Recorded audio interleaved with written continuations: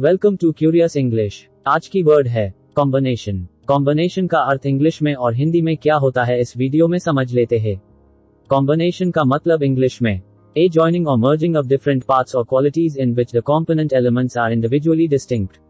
Combination का अर्थ हिंदी में, संयोग, संख्या, संबंध, संगठन, संयोजन, समुच्चय, सम्मिलन, बंदिश या मेल मिलाप कॉम्बिनेशन को लेकर एग्ज़ाम्पल से सेंटेंसेस में अच्छा से समझ लेते हैं।